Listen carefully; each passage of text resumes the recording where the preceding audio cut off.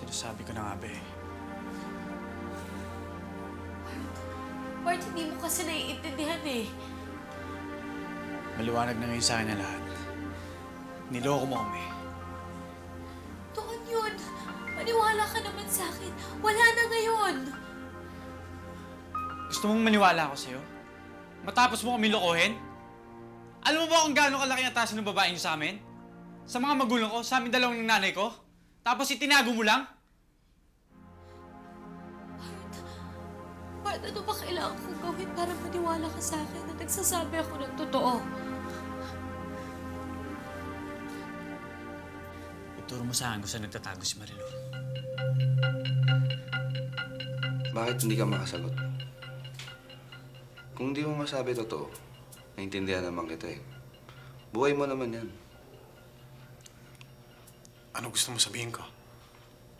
Hindi ko na rin alam ang totoo eh. Bakit? Hindi ko na alam ang nararamdaman ko. Nahihilo na ako. Ano ba nararamdaman mo? Hindi ko alam, pare. Parang... ah, parang gusto kong tanggalin yung benda sa mukha niya. Gusto kong matapos ang lahat para... para makita ko na ang mukha niya.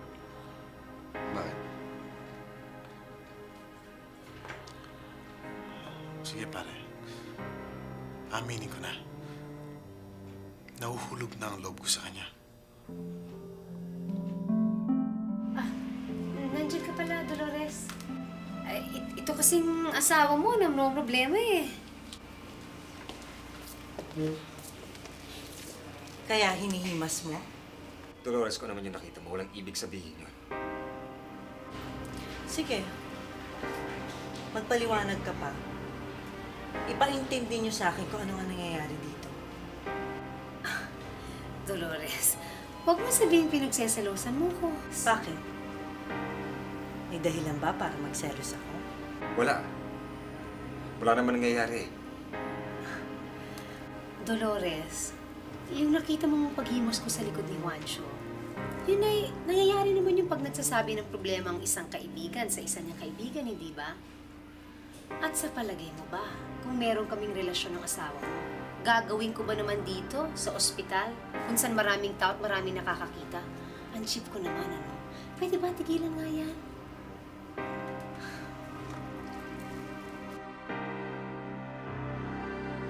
Wala ka sa akin. Hindi ko alam. Ako pa nilolokohin mo? Bart, hindi ko alam. Hindi ko talaga alam eh. Matagal na yun. Di ba, di ba sinabi ko naman sa'yo? Ilang beses ko ba kailangan sabihin sa'yo? Noon, nung umalis ako sa bahay namin, doon ako tumuloy kay Marilu. Hanggang sa... Hanggang sa... Bumalik na ako sa amin, nag-uusap pa rin kami. Pero hindi nagtagal yon. Humiwalay rin ako sa kanya kasi nagalit siya. Bakit? Sa maniwala ka't sa hindi. Gusto ko magbagong buhay.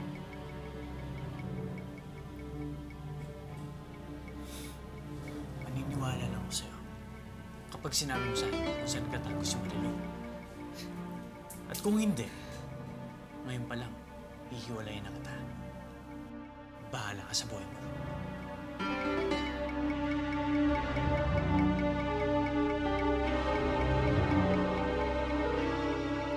Bart, Bart, huwag ko iwan. Parang awa mo na. Mahal na mahal kita, Bart. Huwag mo ko iwan.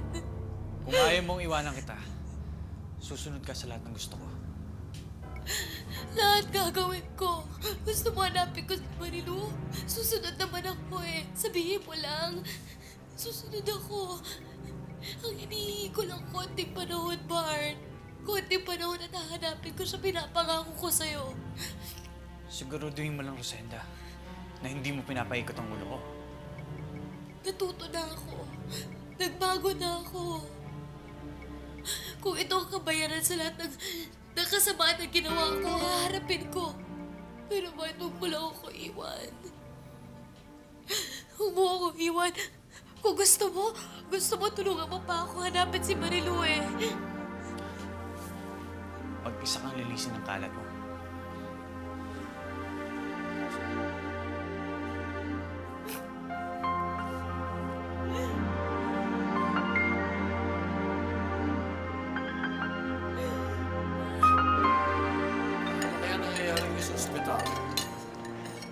Katatawag ko lang. Sabi naman nila, ligtas na raw si Rosenda at yung baby. Ay, salamat naman. Akala ko kung ano nang nangyari sa apo ko. Ano naman ang dapat mo ipagpasalamat? Katatapos lang ng kasal, nagkagulo ka agad. Bakit? Hindi naman si Bart may kasalanan ito ah. Ay, hindi naman siguro gano'n ang ibig sabihin ni pare. Ibig niya sabihin, eh, kabago-bago ng dalawang nakakasal, eh, may problema. Meron pang ibang problema, lumitaw. Mare, sa palagay mo kaya, sino ang nagpadala yung ulo? Hindi ko nga alam eh. Pero pag nalaman ko kung sino yun, ako papatayin ko siya. Binaboy niya yung kasal ng anak ko eh. Teka, yung baboy na pinatay, hindi, na, hindi naman nailuto, ano? Uuwi natin yun, ah.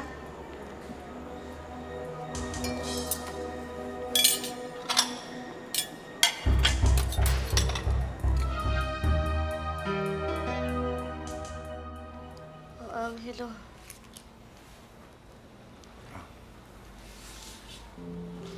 Kumusta ka na?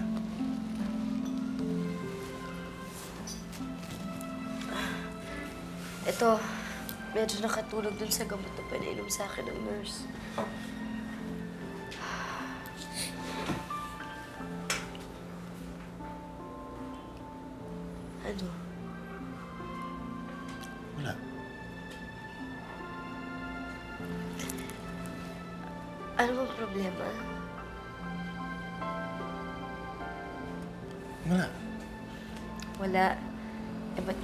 Mukha mo?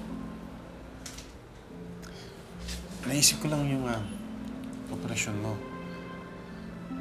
Sana maibalik ko yung dati mong mukha.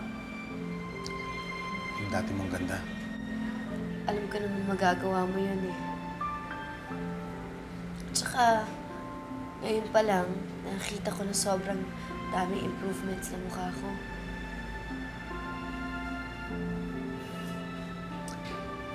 Angelo, ano na?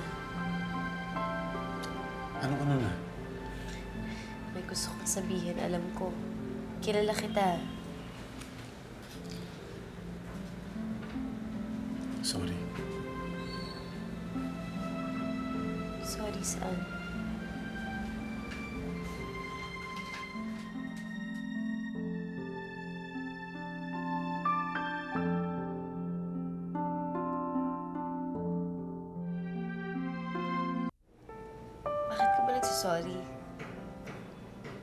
Meron akong kasalanan sa iyo eh. Ano?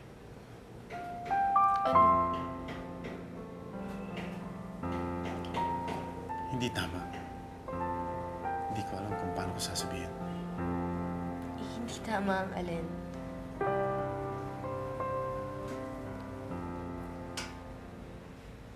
Rosemary,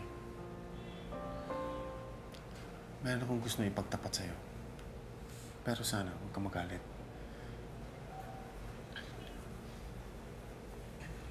Ano yun?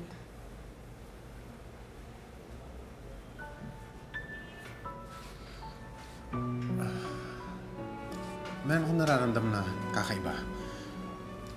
Hindi ko lang alam kung ano mangyayari pagkatapos ng operasyon ko bukas kapag nakita ko na ang mukha mo. Ah, kinakabahan ka sa sa operasyon natin, ganun ba?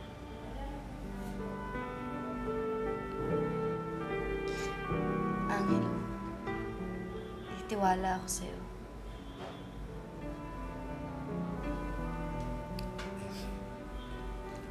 Hindi mo ako maintindihan eh. Alam ko kinakabahan ka. Alam ko matagal ka nang hindi nanggagamot ng tao. Matagal kang hindi nakapasok ng operating room ngayon lang ulit. Natural lang talaga yung kabahan ka. At saka, Angelo, naiintindihan naman kita eh. Naiintindihan ko na yung nararamdaman mo. At alam ko na maganda man o pangit yung kalalabasan ng operasyon na to, magiging magkaibigan pa rin tayo. Dahil alam kong gagawin mo naman ang lahat eh.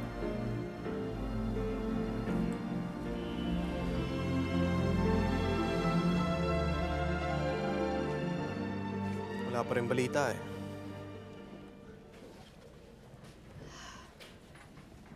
Ano kaya magagawa ko para makatulong kina Ite at Inay? Kung sila nga, walang magawa para hanapin si Rosemary. Nako, Rosario. Ikaw pa? Hindi, naawa lang kasi ako. Hindi pa nahanap si Rosemary. Tapos, ito ngayon, sinundan pa nitong nangyari kay Rosenda. Nako, lalo kang mamoblema. Sunod-sunod na yan. Bakit? Anong ibig mong sabihin? Alam mo, totoo lang ah. Wala akong tiwala doon sa Melissa na yan eh. Wala akong tiwala sa itsura niya. Feeling ko may gagawing masama yan. Ngayon, puro salita lang siya sa akon. Pero alam ko, isang araw, totohanin niya lahat yan. Anong ibig mong sabihin? Hindi ko maintindihan. Kasi, minsan, sabihin niya sa akin, parang... Rosario. Hindi pa ako sigurado. Alam mo, naguguluhan ako. Ay, o sige, o sige, sige, pwede mag-autograph o pero dahan-dahan lang, isa-isa lang ha, huwag magkakagulo. Sir, to, pinapanood ko. Nako, salamat. O, dahil nagpa-autograph na kami ha, libre ang check-up dito ha. O, Sige, salamat. yan, sige, Maraming- o. Pangalan? Nurse ka na ba talaga? Nag-aaral ka pa yata eh. You? Di ba dami? Eh, na naman, ang dami na naman pants, oh. Sana mag-artista ka. Sa akin, hindi nila nagandahan sa akon. Oh, Okay. Kinaklaro ko lang. Ako manager niyan eh. Talaga.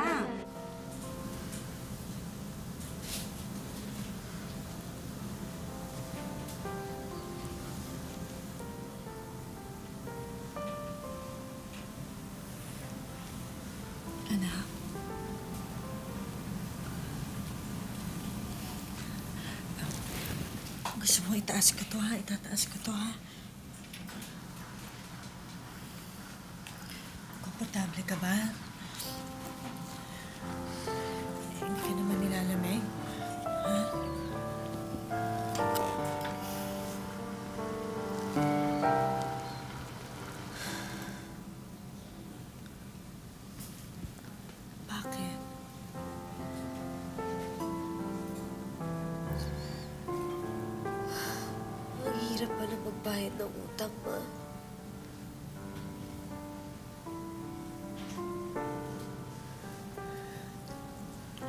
Ano utang?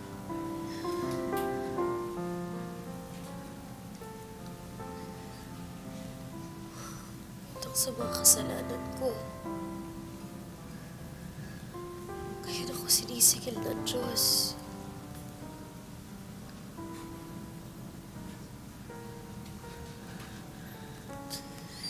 Sa pagsisinungaling ko. Sa pagtatago ko.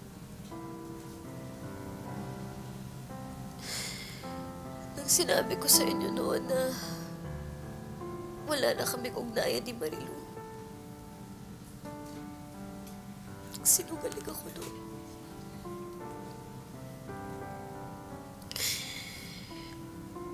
Pero ngayon wala na talaga ba?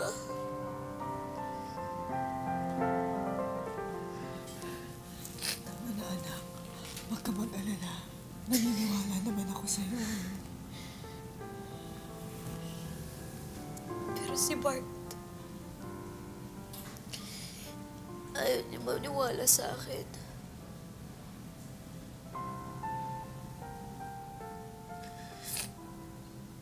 Ma, natatakot ako. Kinakabahan ako. Baka maging pabayad utang ang anak ko sa lahat na naging kasalanan ko. Hindi ko makakayanan yun. At saka, saka hindi ko alam kung paano ako mabubuhay pag nawala si Bart.